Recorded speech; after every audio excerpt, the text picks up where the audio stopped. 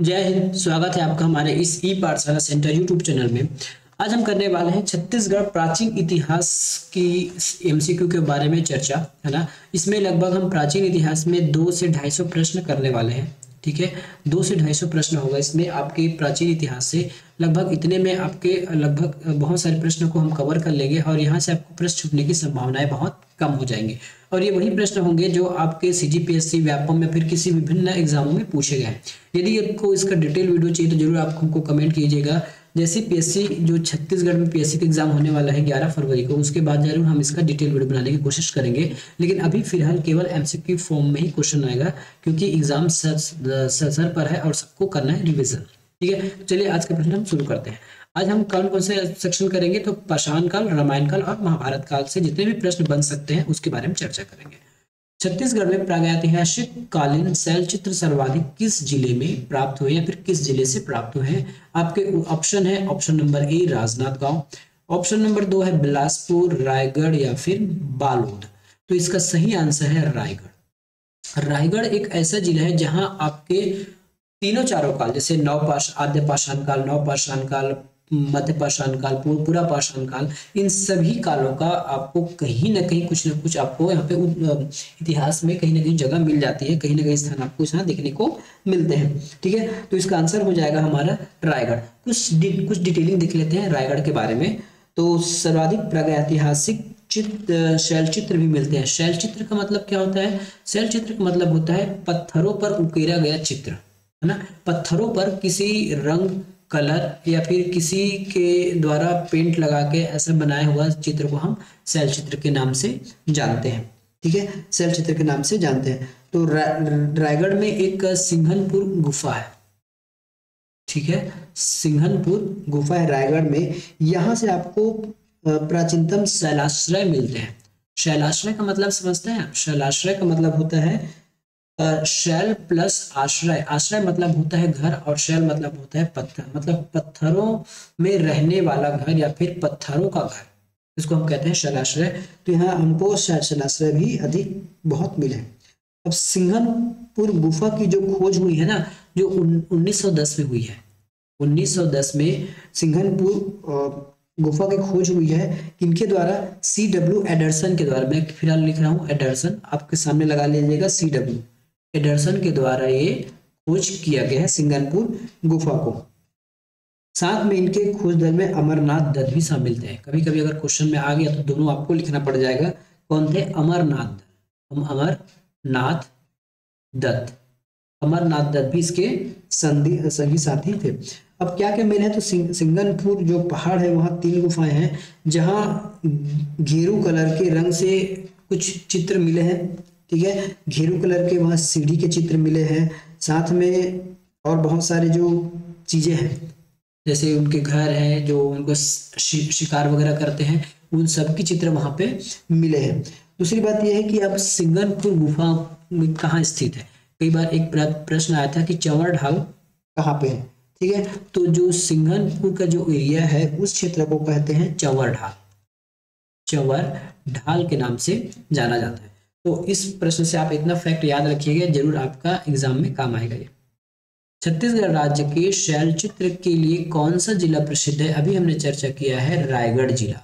और रायगढ़ का कौन सा क्षेत्र तो रायगढ़ का ये क्षेत्र है हमारे सिंघनपुर और अगर अधिक डिटेल में पूछा जाए तो ये हो जाएगा हमारे चवरढाल का एरिया है।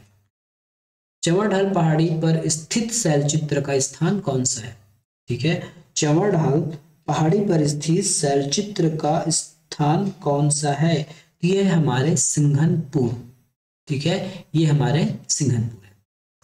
अगला प्रश्न प्रश्न है, प्रसिद्ध कबरा पहाड़िया, कबरा गुफा किस ज़िले में स्थित है? जिन्हें उनके पूर्व ऐतिहासिक गुफा चित्रों के लिए भी जाना जाता है। ठीक है? तो इसका आंसर हो जाएगा फिर से रायगढ़। रायगढ़ में ही कबरा पहाड़ है, कबरा गुफा है, जहाँ पूर्व ऐतिहासिक गुफाओं के चित्रों के लिए जाना जाता है। अब इसका कुछ डिटेलिंग कर लेते हैं कि रायगढ़ ज़िले में ना पाषाण काल के कुछ क्षेत्र मिले हैं, कुछ जगह मिले हैं। काल के बारे में पूर्व पाषाण काल। ठीक है? क्या आपका पाषाण काल? पूर्व पाषाण काल। तो पूर्व पाषाण काल का जगह कौन सा है? तो ये आपके सिंगनपुर सिंघनपुर की गुफा। क्या है? सिंघनपुर की गुफा। सिंघनपुर की गुफा। साथ में आपको मिलेगा आपका सो, सोनबरसा भरखोल गिदा छापामार। छापामार और सोनबरसा। ठीक है? ये जो कुछ स्थान है जहाँ पूर्व पाषाण काल से संबंधित है। और वही यदि हम मध्य पाषाण की बात करें तो अभी प्रश्न आपको कई बार पूछा जाता है कि पूर्व और मध्य पाषाण के स्थानों का वर्णन कीजिए। तो मध्य पाषाण काल का जो स्थल है वो है हमारा कबरा पहाड़। है ना, या फिर कबरा, गुफा, जो उसके बारे में अभी हम एग्ज़ाम में इस क्वेश्चन में चर्चा कर रहे थे। उत्तर पाषाण काल। अब उत्तर पाषाण काल का जो स्थल है, उनका नाम है महा, महानदी की घाटी। महानदी की घाटी। ठीक है? महानदी की घाटी। साथ में जो नवपाषाण काल का समय है नवपाषाण काल। ठीक है? जो नवपाषाण काल के जो स्थल है, उसका नाम है टेरम। नवपाषाण काल का नाम है टेरम तो ये आपको इतना पूरा याद होना चाहिए कि पूर्व पाषाण काल में हमारे रायगढ़ और याद रखिएगा, ये सभी के सभी रायगढ़ ज़िले से संबंधित है।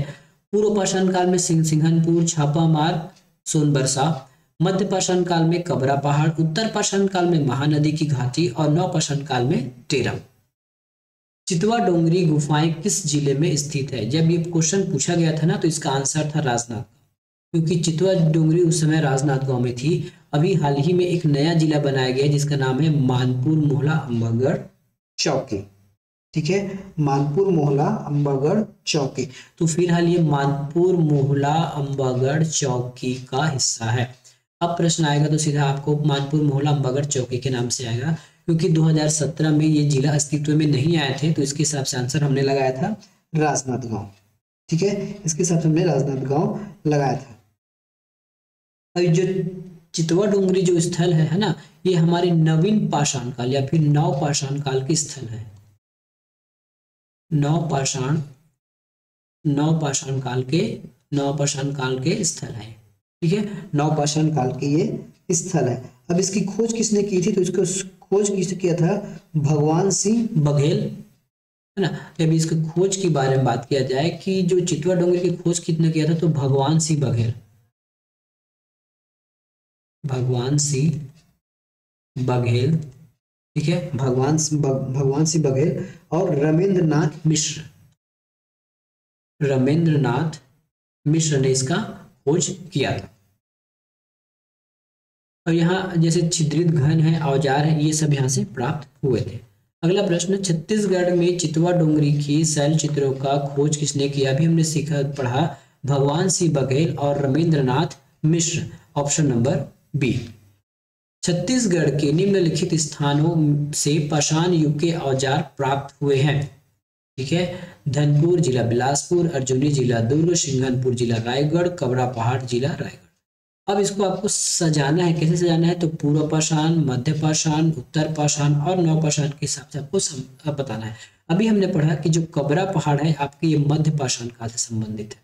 अभी हमने पढ़ा कबरा पहाड़ हमारे मध्य पाषाण काल से संबंधित है। वही यदि हम सिंघनपुर की बात करें तो ये हमारे पूरा पाषाण काल को बताता है। पूर्व पाषाण काल यानी पूरा पाषाण काल। ये पूर्व पूर्व पाषाण काल से संबंधित है। तो ऑप्शन नंबर देखिए, तीन पहले आना चाहिए, फिर चार आना चाहिए। तो तीन और चार कहा है? ऑप्शन नंबर सी में। बाकी जो एक नंबर आ जाएगा हमारे, उत्तर पाषाण काल, धनपुर जिला बिलासपुर, और जो नव पाषाण काल है, अर्जुनी जिला दुर्ग। और इसी के साथ जो नव पाषाण काल में आपका आ जाएगा और अभी जो हमने देखा था कहा चितवा डोंगरी वाला। ठीक है? चितवा डोंगरी भी नव पाषाण काल है लेकिन इसमें लिखा नहीं है फिर भी आप उसको याद रखिएगा कभी इन, इन फ्यूचर उसको ऐड कर दिया जाए। अगला प्रश्न। हाँ तो ये हमने क्या सीखा? ये जो अर्जुनी है ठीक है? ये जो अर्जुनी है आपके नौ पाषाण काल के हैं। नौ पाषाण काल। ठीक है? और वही जो धनपुर बिलासपुर है धनपुर बिलासपुर ये आपके उत्तर पाषाण काल उत्तर पाषाण काल। हाँ कई बार आपके एग्ज़ाम मन में ये बात आ सकती है कि जब सभी सम, जब उत्तर पाषाण काल नव पाषाण काल पूर्व पाषाण काल या मध्य पाषाण काल इसमें आदि मानव ही रहते थे तो इसको भागों में क्यों बांटा गया है? पूर्व क्यों कहा मध्य क्यों कहा उत्तर पाषाण क्यों कहा? तो ये जो जो टॉपिक है ये आपके इंडियन हिस्ट्री का पार्ट है। और इसको बांटने का मुख्य एक आधार ये है कि उस समय मिलने वाले औज़ार। जो पूर्व पाषाण काल थे, बहुत समय के पाषाण काल थे, उसमें बड़े बड़े पत्थर के औज़ार मिलते थे। तो जैसी जैसी आदिमानव सोच बढ़ती गई, उसकी टेक्नोलॉजी बढ़ती गई, प्रौद्योगिकी बढ़ती गई, उसके जो औज़ार है, वो छोटे होते गए। ठीक है? औज़ार छोटे होते गए तो उन्हीं औज़ार की प्राप्ति के अनुसार और उनके खेती के अनुसार, जो उत्तर पाषाण, जो पूर्व पाषाण काल में है, उस समय व्यक्ति केवल और केवल खाद्य संग्राहक था। खाद्य खाद्य संग्राहक मतलब जहाँ खाना मिलता था, जहाँ उनको जानवर मिलते थे, उसको मार मार के भून के खा जाते थे। लेकिन जैसे जैसे उनकी सब समय बढ़ता गया, है ना, उसके जो पत्थर के जो औज़ार थे, वो छोटे होते गए और वो स्थायी खेती की ओर बढ़ते गए। इसलिए इसको उत्तर पाषाण काल नव पाषाण काल कहा जाता है। छत्तीसगढ़ के महापाषाण युगिन सभ्यता के अवशेष कहाँ से मिलते हैं? तालागांव, मल्हार तुमान या फिर शिवड़े नारायण ये ऑप्शन के हिसाब से हमारा आंसर हो जाएगा मल्हार, जो आपके बिलासपुर में आता है। ठीक है? मल्हार आ जाएगा जो आपके बिलासपुर में आता है। अगला प्रश्न, छत्तीसगढ़ को निम्नलिखित स्थानों में से कहा पाषाण युग का मनहीर या फिर पाषाण स्तंभ प्राप्त हुआ है? छत्तीसगढ़ के कहा से आपको पाषाण युग के स्तंभ प्राप्त हुए तो पाषाण युग के स्तंभ प्राप्त हुए हमारे ककरा भाट से। कहा से मिले हैं? ककरा भाट से पाषाण कालीन प्रस्तर प्राप्त हुआ है, जो कहाँ पे हमारे? बालोद जिलों में है। ठीक है? यदि ज़िले का नाम पूछा जाए तो ये हमारे बालोद में है। बालोद ज़िले से मिले हैं। अगला प्रश्न, छत्तीसगढ़ के निम्नलिखित में से किस स्थान में महापाषाण युगीन सभ्यता के अवशेष प्राप्त हुए हैं? तो इसके अवशेष कहाँ से प्राप्त हुए हैं? अवशेष प्राप्त हुआ है हमारे टेंगना से। ठीक है? अवशेष प्राप्त हुए हैं टेंगना से। अब हम रामायण काल की ओर बढ़ते हैं। रामायण काल से कुछ प्रश्न आपको देखने को मिलेगा। रामायण काल से प्रश्न आपको देखने को मिलेगा। तुरतुरिया क्यों प्रसिद्ध है तो तुरतुरिया में एक महर्षि थे वाल्मीकि। ठीक है? वाल्मीकि के लिए प्रसिद्ध है। साथ में एक और आंसर लग सकता है। यहाँ लव कुश का ठीक है? लव और ये कुश की जन्म स्थली है। ठीक है? यदि हम इसका डिटेल वीडियो बनाते हैं तो ज़रूर आपको बताते हैं कि इसका पूरा डिटेल बताते लेकिन हमारे पास उतना समय है नहीं, इसलिए जो पी वाई क्यू का पी वाई क्यू का मतलब होता है प्रीवियस ईयर क्वेश्चन तो जो पिछले साल कुछ क्वेश्चन पूछे गए, उसी पर हम चर्चा करते हुए चल रहे हैं। लवकुश जन्म स्थली के रूप में कौन से स्थल प्रसिद्ध है? सिरपुर, चंदखुरी, तुरतुरिया, लवन या फिर इनमें से कोई नहीं। तो ये तुरतुरिया है, जहाँ लवकुश का जन्म हुआ था। ठीक है? तुरतुरिया है जहाँ पे लवकुश का जन्म हुआ था। अब इस तुरतुरिया से आपको कुछ अधिक प्रश्न देखने को ये मिलेगा, जो तुरतुरिया कौन से ज़िले में है? तो ये हमारे हैं बलौदा बाज़ार में। ठीक है? दूसरा हिस्सा ये पूछा जाएगा, यदि जियोग्राफिकल के वजह से पूछा जाए, है ना? राजस्व के हिसाब से पूछा जाएगा तो जिला हो जाएगा बलौदा बाज़ार। यदि जियोग्राफिकल के हिसाब से पूछा जाएगा तो ये हमारे बार नवापारा में आता है। बार नवापारा अभ्यारण्य में आता है। ठीक है? बार नवापारा अभ्यारण्य में आता है ये।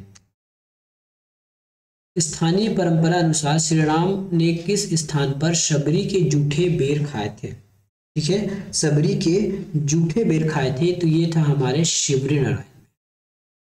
शिवरी नारायण में। और खरोद किसके लिए प्रसिद्ध है? ये ही, ये भी हमारे रामायण कालीन में है। यहाँ खर और दूषण, खर और जो दूषण है, इनका वध, माना जाता है ऐसा कोई साक्ष्य तो नहीं मिलता है, मिल रहा है, लेकिन किदवंती के अनुसार या फिर परंपरा के अनुसार ये माना जाता है कि खरौद में ही खर और दूषण का वध हुआ था, इसलिए इस जगह का नाम पड़ा है खरौद।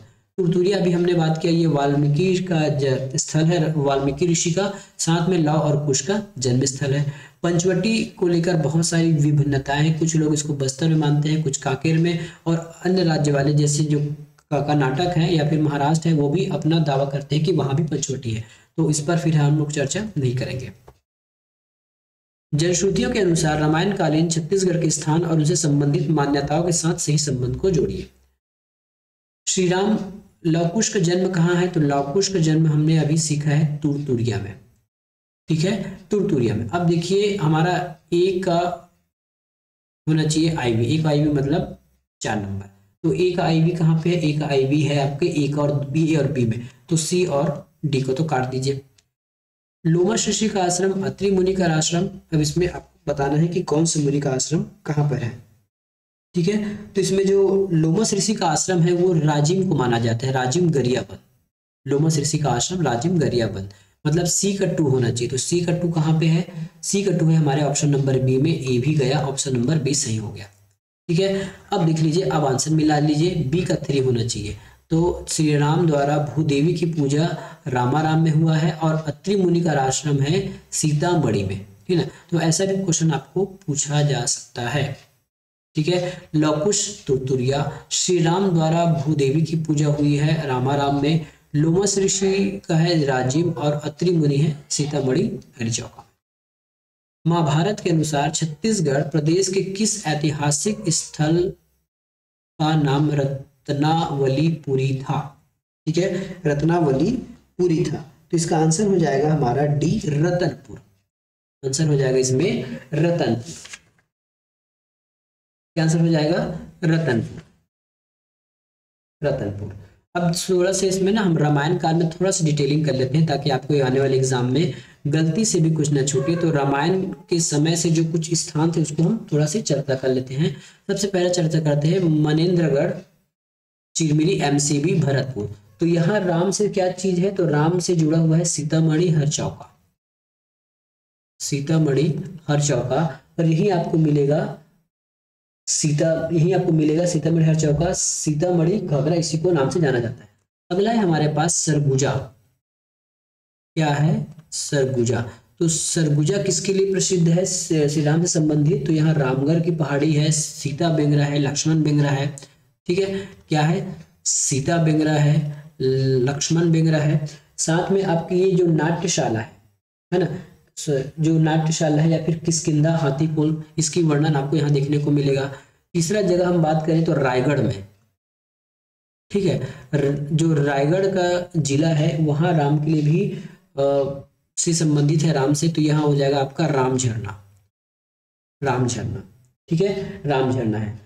तीसरा हम, चौथा हम बात करते हैं जांजगीर चांपा का। तो जांजगीर चापा में एक तो है आपके शिवरी नारायण, उसके बाद है शिवरी नारायण के बाद खरौद। दो चीज़ है जांजगीर चांपा में, एक है आपके शिवरी नारायण, दूसरा है आपके खरौद। ये राम से संबंधित है। पांचवा स्थान हम चलते हैं हमारे बलौदा बाज़ार में। बलौदा बाज़ार में पाँचवें स्थान में आपको मिल जाएगा, आपको तुरतुरिया मिल जाएगा। मैं स्टार्टिंग में शब्द लिख रहा हूँ, बाकी आप मेरे वॉइस को समझ के लिखते जाइएगा। तुरतुरिया। है ना? जहाँ वाल्मीकि ऋषि थे प्लस लव कुश का जन्म स्थल है। छठवा हम देखते हैं छत्तीसगढ़ में रामायण काली से संबंधित है आपके धमतरी, जहाँ पे शिहावा। धमतरी, ठीक है? ये है धमतरी। यहाँ पे क्यों प्रसिद्ध है धमतरी? तो धमतरी में जो श्रृंगी ऋषि है है ना? जो श्रृंगी ऋषि का आश्रम है, इसके लिए प्रसिद्ध है। क्या है? श्रृंगी ऋषि का इसमें आश्रम है। और इसके भी यही एक शिष्य थे क्या? इसके शिष्य थे ना, श्रृंगी ऋषि के सातवें में आ जाएगा आपके कांकेर। कांकेर में ये माना जाता है कि आ, माता सीता का हरण यहीं से हुआ है। ठीक है माता सीता का हरण यहीं से हुआ मतलब यहाँ पंचवटी की बात कही जाती है लेकिन मैंने जैसे बताया है कि पंचवटी को अलग अलग राज्यों को में भी दावा किया जाता है कि पंचवटी वहाँ है। वहाँ पंचवटी और वहाँ से माता सीता का हरण हुआ है। आठवां मान के चलते हैं दंडकारन जिसको हम कहते हैं बस्तर। तो तो बस्तर में राम से जुड़ा क्या चीज़ है? तो बस्तर में राम से जुड़ा है कि राम भगवान वहाँ अपने चौदह वर्ष के कुछ समय यहाँ बिताए थे वनवास का। वहाँ का? वनवास समय का बस्तर में, ठीक है बस्तर में राम जी ने यहाँ कुछ समय व्यतीत किए थे। तो ये थे इतने हमारे राम से जुड़े हुए। अब हम महाभारत की ओर चलते हैं। छत्तीसगढ़ में ऋषभ तीर्थ की जानकारी साहित्यिक स्रोत क्या है? ठीक है? छत्तीसगढ़ में ऋषभ तीर्थ की जानकारी का साहित्यिक सोर्स क्या है? तो इसकी साहित्यिक सोर्स है हमारे महाभारत। ठीक है? साहित्यिक सोर्स है महाभारत। प्राचीन जनश्रुति अनुसार राजा मोरध्वज का संबंध छत्तीसगढ़ के किन स्थानों से है? तो यह है हमारे आरंग और रतनपुर से। ठीक है? आरंग और रतनपुर से। तो एक और तीन हमारा आंसर हो जाएगा। एक और तीन हमारा आंसर हो जाएगा ऑप्शन नंबर सी।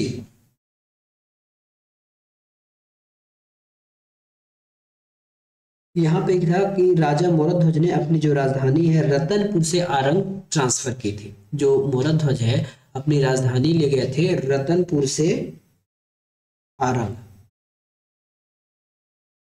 रतनपुर से आरंग ट्रांसफ़र की थी।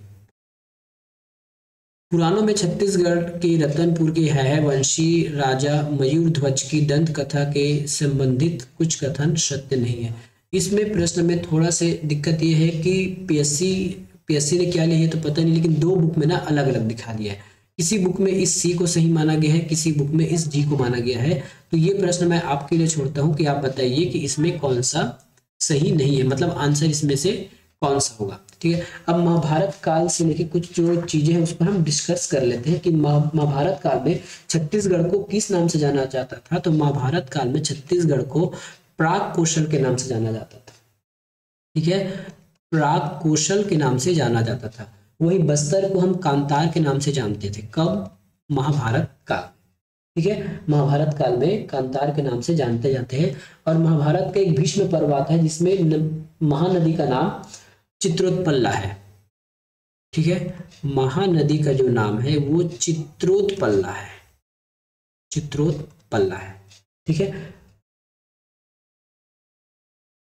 अब महाभारत कालीन कुछ कुछ पुराने शहरों के नाम भी हमको याद होने चाहिए। कभी कभी ये सीधे आपको एग्ज़ाम में पूछ दिया जाएगा। तो अभी जिसको हम रतनपुर कहते हैं उसको महाभारत समय में, महाभारत काल में क्या कहते थे? तो इसको कहते थे? रत्नावलीपुरी अभी इसका जस्ट प्रश्न हमको देखे। क्या देखें? रत्नावली।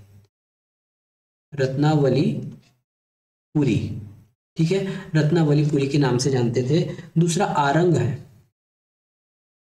आरंग को महाभारत काल में हम नाम जाना था। भांडेर के नाम से जाना जाता था। आरंग को भांडेर। वही अगर खल्लारी की बात किया जाए तो खल, खल्लारी को खल्लवाटिका कहते थे। खल्लारी को क्या कहते थे? खल्लवाटिका। जो अभी महासमुद्र के जिला में आते हैं ये। सिर, सिरपुर को कहते थे चित्रांगतपुर और गुज्जी को कहा जाता था दमोदरा। ठीक है? गुजी को कहा जाता था दमोदरा। बाकी यदि हम डिटेल क्लास कभी करेंगे तो उसको और अच्छे से बताएँगे कि हम किस बुक से पढ़ा रहे हैं और किसको हम सही माने और किसको ना माने। तो ये था आज का हमारा छोटा सा वीडियो जिसमें आपने प्राचीन छत्तीसगढ़ के बारे में जाना और प्राचीन छत्तीसगढ़ मुश्किल से चार से पाँच वीडियो में पूरा प्राचीन छत्तीसगढ़ खत्म हो जाएगा। उसके बाद मध्यकालीन, फिर आधुनिक। हमारा कोशिश रहेगा कि सीजीपीएससी एग्ज़ाम से पहले पूरा इतिहास खत्म हो जाए। मिलेंगे नेक्स्ट वीडियो में। धन्यवाद। और यदि आपको हमको, हमारा कुछ वीडियो चाहिए, भूगोल वाला तो उसका सेक्शन पहले से बना हुआ है, उसमें आप जाकर देख सकते हैं।